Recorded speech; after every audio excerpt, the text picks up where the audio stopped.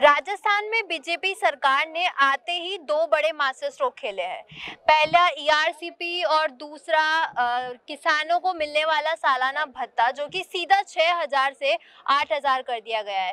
तो क्या ये किरोड़ी लाल के पद को और भी ऊँचा कर देंगे? या फिर देखने वाली बात है कि जो लोकप्रिय नेता माने जाते हैं बीजेपी के किरोड़ी लाल मीणा तो उनके लिए क्या ये और लोकप्रियता की बात होगी? तो आइए हम बात करते हैं।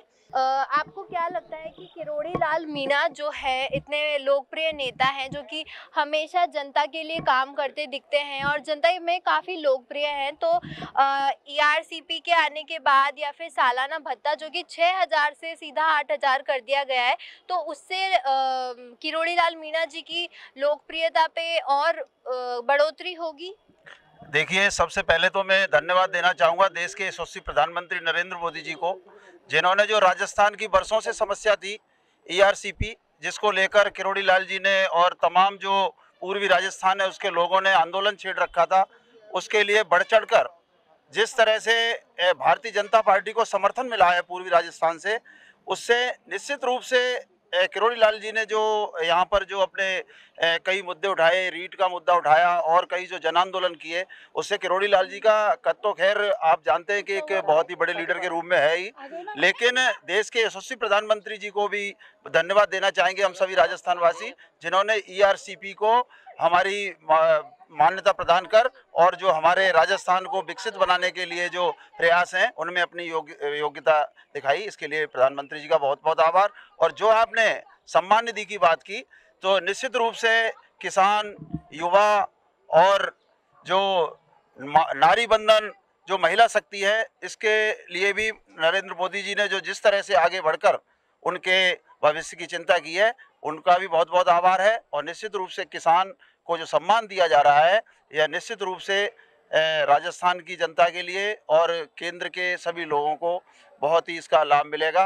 मतलब ईआरसीपी से जो किसान हैं और कृषि का जो हो रहा है कि इससे क्या आ, मतलब फ़ायदे मिलेंगे किसानों को? मैं सबसे पहले माननीय प्रधानमंत्री मोदी जी को भी धन्यवाद दूँगा और किरोड़ी लाल जी मीना कई कार्यक्रमों में बढ़ चढ़ हिस्सा लिया है। इन्होंने मुद्दे भी उठाए। और जो ईआरसीपी e का मुद्दा है, इससे अपने राजस्थान के जो तेरह ज़िले हैं, उन सबको पेयजल की सुविधा उपलब्ध होगी और एक क्षेत्र का विकास होगा। किसानों के लिए क्या ये तो सब, परिवार के सभी लोगों के लिए किसानों के लिए इनकी सिंचाई है तो परिवार, पूरा परिवार उससे लाभान्वित होता है। तो ये राजस्थान जो क्षेत्र है, दौसा है, जयपुर आसपास के जितने भी क्षेत्र है, और कई बाँध इससे भरेंगे और सभी को फ़ायदा होगा। ये बहुत मतलब हमारे भजन लाल जी ने भी कुछ ही घंटों में ये कार्यक्रम मतलब इसको ध्यान दिया और इसको परिणति की। तो ये उनके लिए बहुत बहुत धन्यवाद और प्रदेश की जनता का लाभ होगा। इसके लिए हम सभी पार्टी कार्यालय को, पार्टी को, प्रधानमंत्री मोदी जी को, माननीय मुख्यमंत्री भजन लाल जी को सभी को धन्यवाद देते हैं। आप बताइए, ये जो दो स्कीम दो अलग अलग ईआरसीपी और सालाना भत्ता वाली जो चीज़ है, इनसे किरोड़ी लाल जी के लोकप्रियता पे कितना असर पड़ेगा? वैसे देखा जाए तो किरण लाल जी मीणा ने बहुत अच्छा काम किया है और हम उनके लिए बहुत आभारी हैं। और खास कर तो नरेंद्र मोदी जी के आभारी हैं कि आज उन्होंने ये सब किया और भजन लाल जी को भी हम बहुत बहुत धन्यवाद देना चाहते हैं। जो ईआरसीपी का हुआ है उससे किरोड़ी लाल जी के पद पर कितना प्रभाव पड़ेगा? एआरसीपी का जो हुआ है तेरह जिलों का जो पानी दिया जाएगा किसानों को उनको बहुत सुविधा मिली है इसके लिए और करोड़ी मल जी का उसमें। कद बड़ा ही है, काफ़ी बड़ा है और ये जो छः हज़ार से आठ हज़ार उनका भत्ता किया गया है किसानों का तो किसानों को भी इसमें बहुत लाभ मिलेगा, क्योंकि किसान बेचारे जो इतने परेशान थे इस समय कांग्रेस के टाइम में ना तो उनको पानी की सुविधा थी, वो खेती नहीं कर पा रहे थे, इतने कर्जे में डूब गए थे। अब जैसे जैसे पार्टी, हमारे राजस्थान में भजन लाल जी आए हैं, प्रधान, मुख्यमंत्री बने हैं बहुत मतलब वो मिला और इनका जो जल का जो समझौता हुआ, तेरह जिलों को जो जल दिया जाएगा किसानी के लिए, उनसे किसानों को बहुत राहत मिली है। और हमारे नरेंद्र मोदी जी को बहुत बहुत धन्यवाद है कि उन्होंने हमारे राजस्थान में किसानों को इतना लाभ पहुँचाया है। किसान लोग बहुत खुश हैं इससे, बहुत लाभ लाभान्वित है, इसलिए बहुत खुश हैं। उनका बहुत बहुत धन्यवाद और हमारे भजन लाल जी का भी और मोहन यादव जी जो एमपी के मुख्यमंत्री हैं, उनके साथ मिलकर उन्होंने समझौता किया, उसके लिए उनका भी बहुत बहुत धन्यवाद। इस टॉपिक पर आप कुछ बोलना चाहेंगी? हम प्रधानमंत्री जी को बहुत बहुत धन्यवाद देना चाहते हैं। साथ में मुख्यमंत्री जी को भी धन्यवाद देना चाहते हैं। और इसमें करोड़ी लाल मीणा जी ने बहुत संघर्ष किया था। आज उनको इस चीज़ का फ़ायदा मिल गया देश की जनता को और किसानों को सबको बहुत राजस्थान फ़ायदा मिल की गया जनता को। राजस्थान की जनता को पूरा फ़ायदा मिल गया है।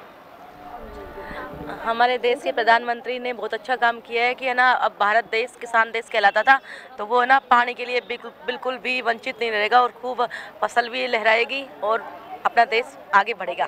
जय हिंद। हिंदुस्तान की जनता के लिए इतना किया है। उन्होंने एक और कदम रखा और एक और बार जनता के लिए इतना बड़ा हाथ कदम उठाया।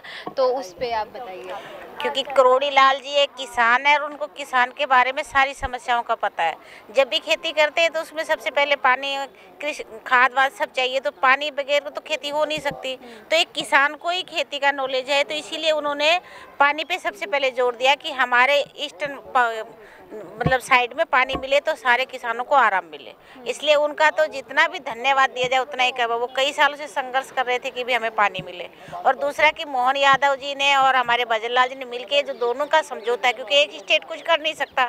दो स्टेट से मिलके ये जो काम किया, इसलिए इतना अच्छा हुआ है कि जितना हमारे मतलब मोहन मोहन जी का और भजन लाल जी का जितना धन्यवाद किया जाए, वो अंधे क्योंकि संघर्ष तो सभी करते हैं। पर संघर्ष करने के बाद उसको सफल बनाने के लिए ऊपर हाथ होता है। तो ये हमारे दोनों मुख्यमंत्रियों ने कहा तो उनका हम बहुत तहे दिल से शुक्रगुजार हैं और करोड़ लाल जी का बहुत शुक्रगुजार है क्योंकि उन्होंने ये कदम उठाए किसानों की समस्या समझ के और ये समस्या सोल्व होगी तो ये लिए हम सब किसानों के लिए बहुत ही खुशी की बात है। और ये जो सालाना भत्ता है किसानों को जो दिया जाता था, जो कि छः हज़ार से सीधा आठ हज़ार कर दिया गया है, उस पर क्या आपका कहना है? किसानों को बीज के लिए, खाद के लिए जो छोटे किसान होते हैं, उनको ज़रूरत होती है। और सबसे बड़ी बात यह है कि किरोड़ी लाल जी बहुत संघर्षशील व्यक्ति है और उन्होंने इतना संघर्ष किया है कि उनका पद वैसे ही बहुत ऊँचा है। तो उन्होंने किसानों के लिए जो कुछ किया है, वो तो अविस्मरणीय रहेगा। और उसके लिए जैसे जल अभी मैडम ने बोला था कि जल के बिना तो कुछ है ही नहीं, जीवन ही नहीं है जल के बिना। लेकिन मैं सबसे ज़्यादा धन्यवाद और स्वाभिमान के साथ कि एक महिला वित्त मंत्री ने जिस तरह से बजट पेश किया है, उस बजट में किसानों का बहुत ध्यान रखा गया है।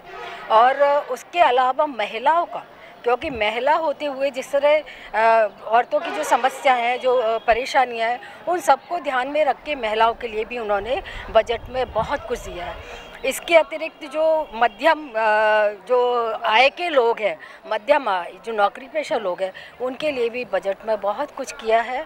गरीब लोगों के लिए भी बजट में बहुत कुछ किया है। और मोदी जी का जो एक विज़न है कि हम चार हमारी चार जातियाँ हैं, महिलाएँ, किसान युवा और गरीब।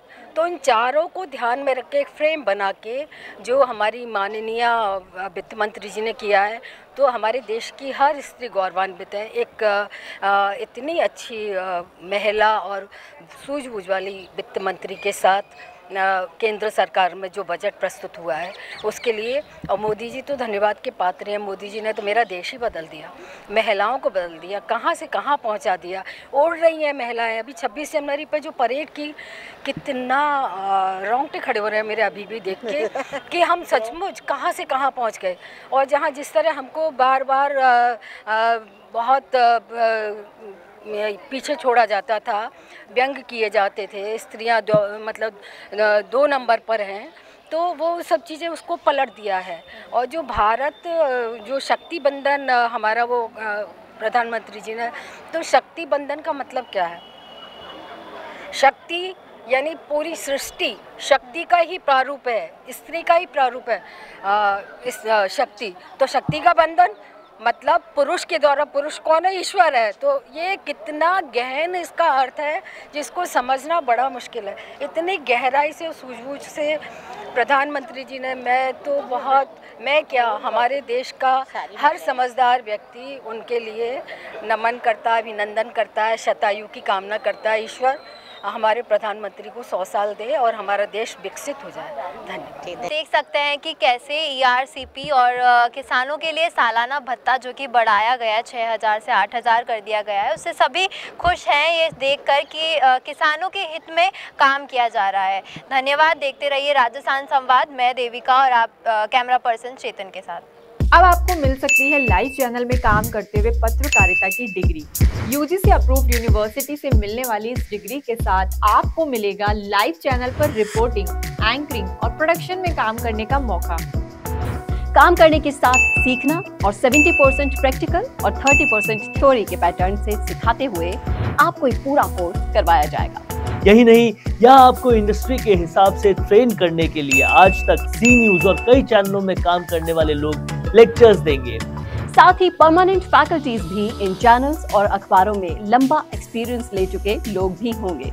इसके साथ ही टीवी न्यूज़पेपर जैसे ट्रेडिशनल मीडिया की लाइव प्रैक्टिकल ट्रेनिंग के अलावा आपको यहाँ पर डिजिटल मीडिया और डिजिटल मार्केटिंग भी इंडस्ट्री नीड्स के हिसाब से सिखाई जाएगी।